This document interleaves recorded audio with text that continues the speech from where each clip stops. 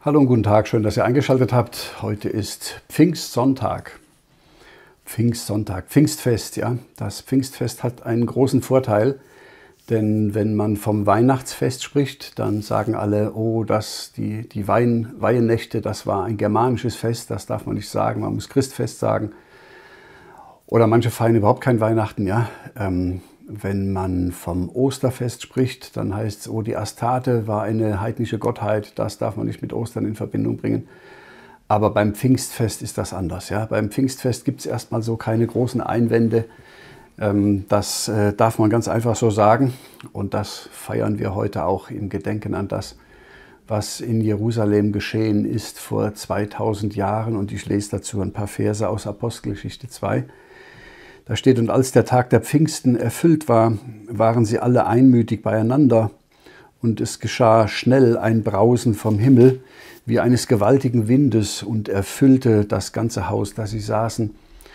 Und es erschien ihnen, erschienen ihnen Zungen zerteilt wie von Feuer und setzten sich auf einen jeglichen unter ihnen. Und sie wurden alle voll des Heiligen Geistes und fingen an zu predigen mit anderen Zungen, nachdem der Geist ihnen gab, auszusprechen. Das ist zu Pfingsten vor 2000 Jahren geschehen. Da ist die Gemeinde Jesu begonnen. Ja, die hat dort ihren Anfang genommen und ist von dort aus in alle Welt gegangen. Der Geist Gottes, der sich damals auf die Jünger äh, gelegt hat, gesetzt hat, der erschien ihnen ähm, wie Zungen, wie Feuerzungen, ja, die, die sich auf äh, sie gesetzt haben als der Heilige Geist sich auf Jesus herabgesenkt hat, da ist er gekommen wie eine Taube. Eine, Taube, eine Taube kommt nach Hause. Ja? Der Heilige Geist fühlt sich wohl, weil er äh, zu Christus gehört, ja? weil er der Geist Christi ist, weil er der Geist Gottes ist. Christus ist Gott, deswegen fühlte sich der Heilige Geist da zu Hause, symbolisiert wie eine Taube, ja? Ähm, die nach Hause kommt in ihren Schlag. Ja? So fühlte sich der Heilige Geist wohl, als er zu Christus kommt. Wenn er zu den Jüngern kommt, dann kommt er zerteilt wie von Feuer. Ja? Ähm, der Heilige Geist setzt sich auf die Jünger. Wenn Gottes Geist in uns Menschen kommt, muss er uns reinigen. Ja? Und das ist dieses reinigende ähm, Pfingstfeuer, wenn man so sagen will, im Geist und in Wahrheit. Ja? Also kein echtes Feuer, was die Jünger verzehrt hätte, aber im Unterschied zu Jesus kommt der Geist Gottes auf die Jünger hier zerteilt wie von Feuerzungen. Und dann werden sie alle voll des Heiligen Geistes, werden wiedergeboren. Ob ihnen das damals schon so bewusst war, ist nicht klar. Die ganze Sache war ja ohnehin äußerst überraschend für sie alle. Ähm, aber der Heilige Geist setzt sich auf sie und sie fangen an zu predigen mit anderen Sprachen, mit anderen Zungen, nachdem der Geist ihnen gab, auszusprechen. Die haben damals deswegen in Sprachen gesprochen, weil das Evangelium drauf und dran war, von Israel wegzugehen. Wohin denn? Naja, zu den Heidennationen, ja, zu den Völkern der Welt. Und deswegen wurde das äh, Wort Gottes und die Geheimnisse Gottes, ja, welche ähm, sind Christus, ja, und alles das, was mit Christus zusammenhängt, das ist das Geheimnis Gottes. Das haben die Jünger, zumindest also elf von ihnen, in verschiedenen Sprachen damals gepredigt dass nämlich Gott seinen Sohn gesandt hat, unseren Herrn Jesus Christus, und dass äh, die Juden ihn getötet haben und dass er nach vorbedachtem Ratschluss wieder auferstanden ist und dass er allen, die an ihn glauben, zum Heiland und Gott wird, ja, und zum dem, der sie gerecht macht. Das ist der Sinn der Zungenrede, ja, der biblischen Zungenrede, Sprachenrede. Die Sprachenrede war ein Gerichtszeichen ein Gerichtszeichen an Israel nach dem Motto, Gott äh, redet gar nicht mehr zu Israel, nicht mehr in Hebräisch, ja, in der, in der äh, religiösen Hochsprache der damaligen Zeit, sondern Gott redet zu den Juden damals im Gericht, dadurch, dass er die Jünger hier in den Sprachen der unreinen Völker reden lässt, sprechen lässt. Warum? Weil Gott zu ihnen gehen wird und Israel äh, verlassen wird. Ja? Deswegen war das einerseits ein Segenszeichen für alle die, die an Jesus geglaubt haben, weil sie da die großen Taten Gottes gehört haben, die er in Christus getan hat, ja, uns zum Heil. Und gleichzeitig war das ein Gerichtszeichen an Israel, dass Gott nämlich nicht mehr in Hebräisch gesprochen hat, sondern in fremden Sprachen zu allen Völkern der Welt. Ja, das ist der Sinn, der eigentliche Sinn der biblischen Zungenrede. Das hat nichts zu tun mit dem, was wir heute so an, ich sage immer gerne, an Gebrabbel hören. Ja, das hat ähm, mit der biblischen Zungenrede überhaupt nichts zu tun und ist eine große Verführung auch unter den Christen, die sich da breit gemacht hat. Ja, ich habe da eine ganze äh, Reihe zu gemacht. Ich blende euch die auch mal hier oben ein. Ja, dann könnt ihr da, wenn ihr wollt, könnt ihr euch das anschauen. Äh, manche Videos sind sehr scharf, aber ich bin auch ein erklärter Gegner der Zungenrede, denn die Zungenrede hat aufgehört. Warum? Weil Gott jetzt wieder dabei ist, Israel zu sammeln. Die Zungenrede war aber ein Gerichtszeichen gegen Israel. Ja, Paulus zitiert ja in 1. Korinther 14, glaube ich, ne, zitiert er auch Jesaja, dass er sagt, ich will mit anderen Zungen und mit anderen Lippen reden zu diesem Volk, zum Volk Israel. Und sie werden mich auch so nicht hören. Ja. Also die Zungenrede war, die biblische Zungenrede war ein Gerichtszeichen an Israel. Aber heute leben wir in einer Zeit, wo Gott Israel wieder sammelt. Da ist die Zungenrede vollkommen deplatziert. Ja. Die passt da überhaupt nicht hin. Und das, was da an äh, unverständlichen Lauten von sich gegeben wird, das hat eher mit irgendwelchen schamanischen oder animalischen ähm, Kulten und Religionen zu tun als mit dem Evangelium Jesu. Ja, Gott hat immer deutlich und klar gesprochen. Ja, Gott sprach und es stand da. So hat Gott die Welt geschaffen. Christus ist das Wort Gottes. Ja, das war immer klar und deutlich. Wie wird sich jemand rüsten, wenn die Posaune keinen klaren Ton gibt? Ja, und da gehört auch zu, die Zungenrede biblisch einzuordnen in ihrem biblischen Umfeld. Was ich aber heute gerne auch erwähnen möchte und nicht vergessen möchte, ist, dass wir noch ein solches Pfingsten vor uns haben. Denn die Bibel verheißt, dass die Stadt Jerusalem nochmal Wiedergeburt erleben wird in der Endzeit. Ich nenne das die Wiedergeburt Jerusalems.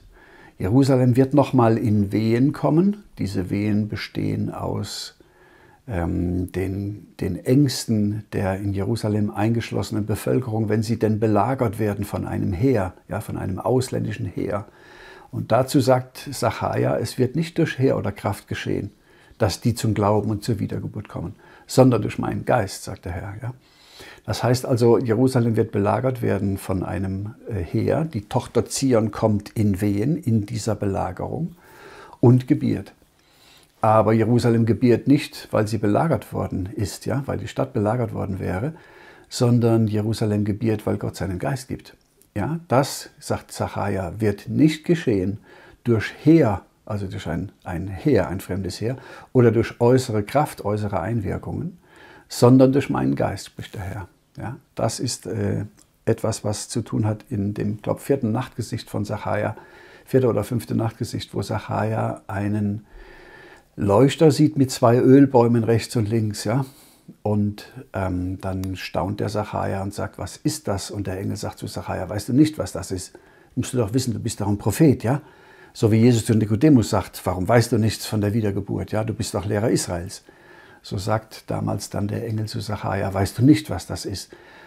Und Sacharja sagt nein. Und dann sagt der Engel, das wird nicht durch Heer oder Kraft geschehen, sondern durch meinen Geist. Was sieht Sacharja dort?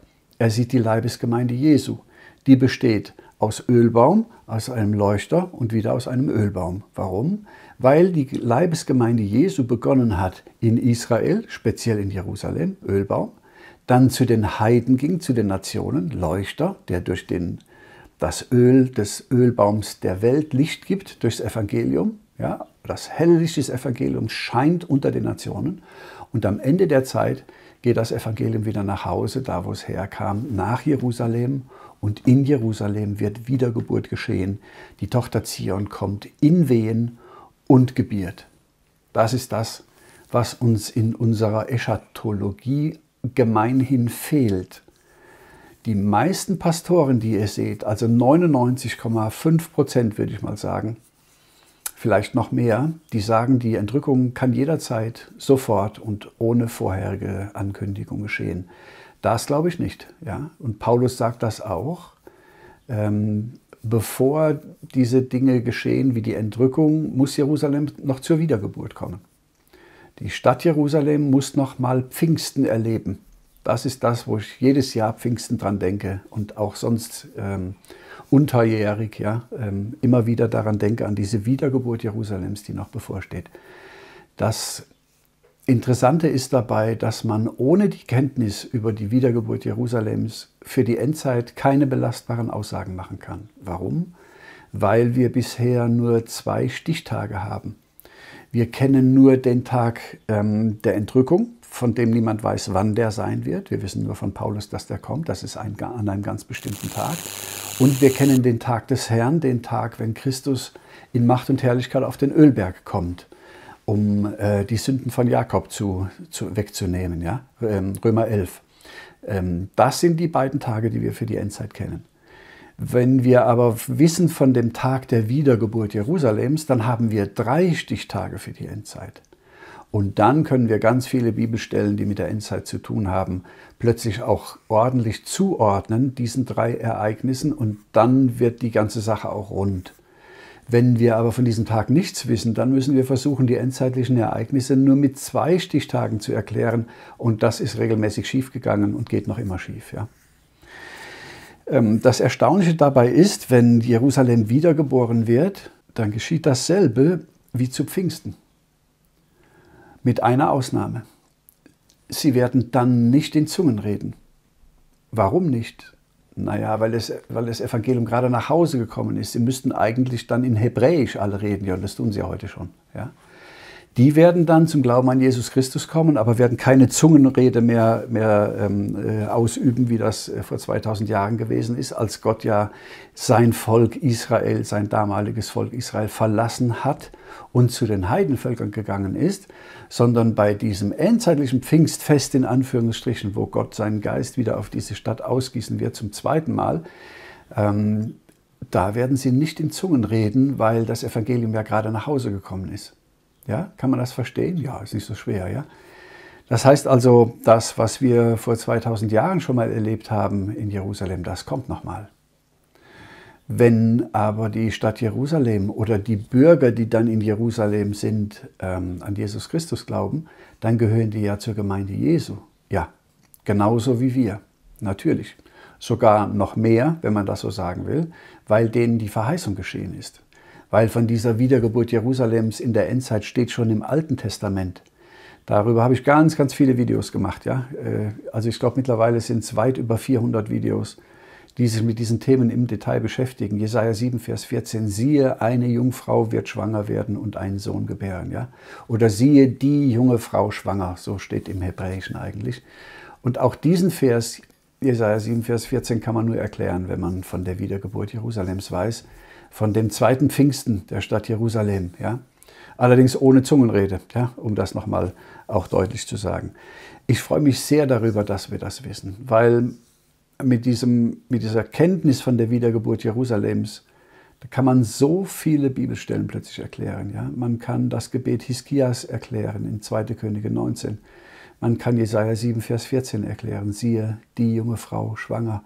Man kann viele Bibelstellen in Jeremia erklären, wenn Jeremia während der Belagerung durch die Babylonier Männer sieht mit Händen auf ihren Hüften wie Frauen in Kindsnöten. Man versteht, warum Jesus für die Endzeit von Wehen spricht. Ja? Er sagt ja, ihr werdet hören von Kriegen und Kriegsgeschrei und von teurer Zeit und von Seuchen und von Erdbeben hier und da. Ähm, das alles muss zuerst geschehen, erschrecket nicht. Das alles sind die Anfang, Anfänge der Wehen. Und diese Wehen dauern keine 2000 Jahre, wie die sogenannten Wehen des Messias. Ja, das ist ein Ausdruck aus dem Talmud. Das kennt die Bibel nicht. Ja, die Bibel kennt keine Wehen des Messias. Die Bibel kennt auch keine Wehen, die seit 150 Jahren ähm, zugange wären, während derer ähm, die Juden wieder nach Israel zurückträufeln, ja, in einer sogenannten Aliyah. Das sind auch nicht Wehen, sondern Wehen sind ganz konkret, wenn Jerusalem belagert wird. Dann kommt die junge Frau Zion, in Wehen. Und wenn jemand in Wehen kommt, dann kommt Geburt. Das ist immer so. Ja, das ist schon immer so gewesen. Also wenn Frauen in Wehen kommen, dann ist zu erwarten, dass in den nächsten Minuten oder Stunden ein Kind zur Welt kommt. Wenn aber jetzt Zion in Wehen kommt, dann würde ja Zion gebären. Genau. Dann würde also Jerusalem zur Wiedergeburt finden. Genau dann würde das Evangelium Jesu Christi aus der Hauptstadt des Judentums gepredigt werden, der ganzen Welt. Genau, das ist das, was kommt.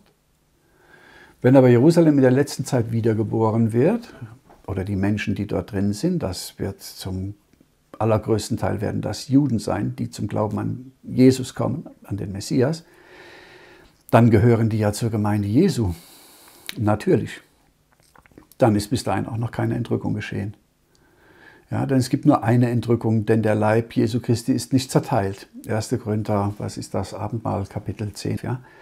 Ähm, es gibt nur eine Entrückung der einen Leibesgemeinde Jesu und die wird nicht entrückt, bevor sie vollständig ist. Wenn aber Jerusalem zur Leibesgemeinde Jesu noch dazugehört, so wie auch der Anfang in Jerusalem war, ja, Ölbaum, ähm, Leuchter, Ölbaum, dann ist bis dahin keine Entrückung. Dann würden die Menschen, die an Jesus glauben, ähm, das vor der Entrückung noch erleben, wenn sie dann noch am Leben sind. Das heißt, wir würden sehen, wie Israel zerbricht in zwei Teile. Wir würden sehen, wie Jerusalem belagert wird. Die Tochter Zion kommt dann in Wehen und wir würden sehen, wie Jerusalem sich an einem einzigen Tag zum Glauben an Jesus Christus bekehrt. Dann werden sie sehen, den, in den sie gestochen haben. Ja, das vielleicht zum Schluss. Immer wenn ihr hört von dieser Sachaja-Stelle, sie werden den sehen, in den sie gestochen haben, dann wird euch regelmäßig erzählt, dass Israel in der Endzeit zum Glauben kommt. Ja? Das steht da aber nicht. Da steht, das Haus David und die Bürger zu Jerusalem, die werden den sehen, in den sie gestochen haben. Ja, nicht ganz Israel, nein. Wer? Naja, nur die Bürger zu Jerusalem, das Haus David und die Bürger zu Jerusalem, die in Jerusalem eingeschlossen sind. Nur die werden Jesus erkennen. Und für die gilt diese Verheißung, weil die junge Frau schwanger. Jesaja 7, Vers 14. Und ihr könnt das auch daran sehen, dass die Jünger ja am See Genezareth waren und dort Jesus getroffen haben. Und Jesus schickt sie wieder hinauf nach Jerusalem und sagt zu ihnen, geht nach Jerusalem hinauf und wartet dort auf die Verheißung. Auf welche Verheißung? Naja, auf die Verheißung aus Jesaja 7, auf die Verheißung aus 2. Könige 19, auf die Verheißung aus Jesaja 66. Ja? Ähm, dass in Jerusalem Geburt geschehen wird. Ja, aber hat Gott seinen Geist dann nicht auf ganz Israel ausgegossen damals? Nein, hat er nicht. Ja, wo, auf wen hat denn Gott seinen Geist damals ausgegossen? Ja, nur auf Jerusalem. Deswegen sollten ja die Jünger vom See Genezareth wieder hinaufgehen nach Jerusalem und dort warten. Ja, das war die Aussage Jesu. Und da könnt ihr schon sehen, dass der Geist Gottes beim ersten Pfingsten vor 2000 Jahren nur auf Jerusalem ausgegossen wurde. Und so wird es in der Endzeit auch wieder sein. Ja? Das ist das, woran ich denke, wenn ich äh, heute an den Pfingstsonntag denke. Ja. Wir genießen natürlich auch dieses herrliche Wetter. Ja. Das ist ja ganz wunderschön. Da geht ja auch die Seele auf und freut sich. Und genauso freuen wir uns daran, dass wir wissen dürfen von der Wiedergeburt Jerusalems, die kommen wird. Und dieses Pfingstfest wird sich wiederholen, bis, wie gesagt, bis auf die äh, Sache mit der Zungenrede. Das wird nicht mehr kommen. Das war damals, weil das ein Gerichtszeichen gegen Israel war.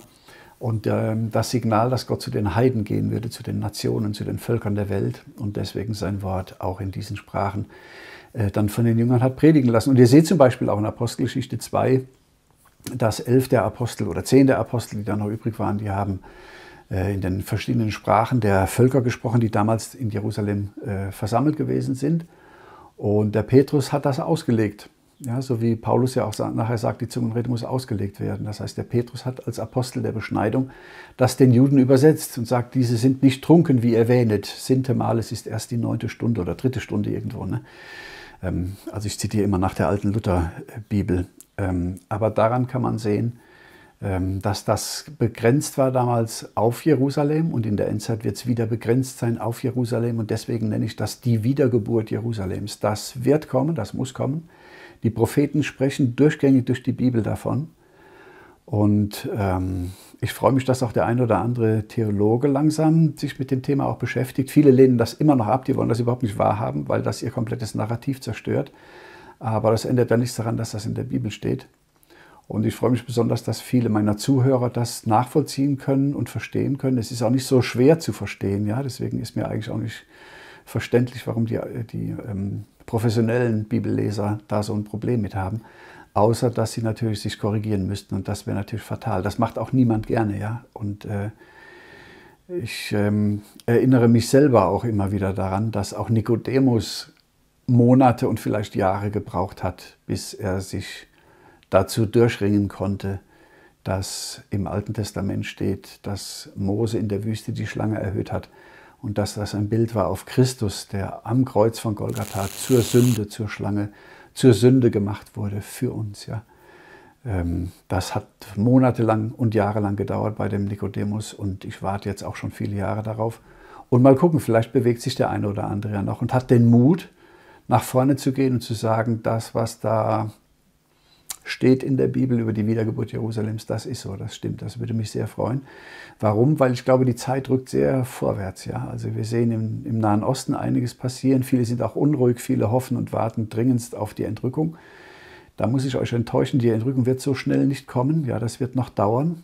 Und um es mal einfach ganz frank und frei zu sagen, äh, mindestens von heute noch sieben Jahre. Ja.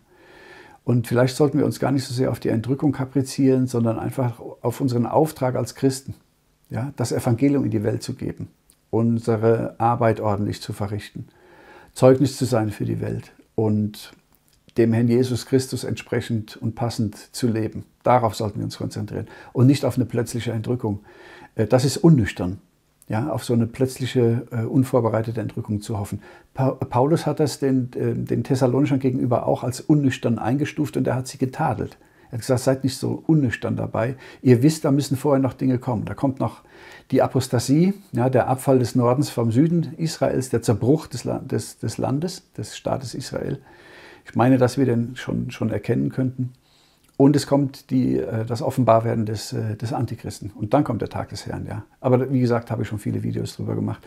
Ich freue mich einfach darüber, dass wir das wissen können, weil mit dieser Kenntnis wird so sehr viel verständlich im Neuen und im Alten Testament. Und man sieht, dass die Bibel wahr ist und ähm, dass wir in guten Händen sind. Weil wenn das wahr ist, dann ist auch wahr, dass Jesus Christus unser guter Hirte ist und dass er einen Weg hat für uns, den wir gehen können. Egal, wie es jetzt nach außen vielleicht aussieht. Ja, viele werden vielleicht in so Zeiten wie jetzt auch Sorge und Angst haben um Insolvenz, ja, das ist etwas, was kritisch und schlimm ist und schwierig. Und die Regierung ist ja auch dabei, äh, nach Kräften unser Geld äh, mit vollen Händen auszugeben und uns alle komplett systematisch zu verschulden. Das haben wir schon zweimal gehabt, das kommt gerade wieder. Ähm, und da macht man sich schon Sorgen, das kann ich schon verstehen. Aber Gott hat versprochen, dass er uns da durchführt. Und das wird er auch tun. Und in dem Vertrauen gehen wir einfach mal ganz wohlgemut unseren Weg und sagen, Day by Day, Tag für Tag. Dazu wünsche ich euch ganz viel Kraft, viel Segen, viel Glaubenstrotz, einen langen Atem wünsche ich euch und uns allen, ja. Und wir stehen einfach im Gebet einig zusammen und gehen einfach unseren Weg mit unserem Herrn Jesus Christus und freuen uns an seinem Wort, ja. Das meine kurzen Worte zu diesem wunderschönen Tag heute, ja. Pfingstfest 2023 im Gedenken an das Pfingsten vor 2000 Jahren und im Gedenken an das Pfingsten, was noch kommt. Und wenn das kommt, dann kommt Jesus bald, ja. Euch alles Gute, Gottes Segen und bis bald.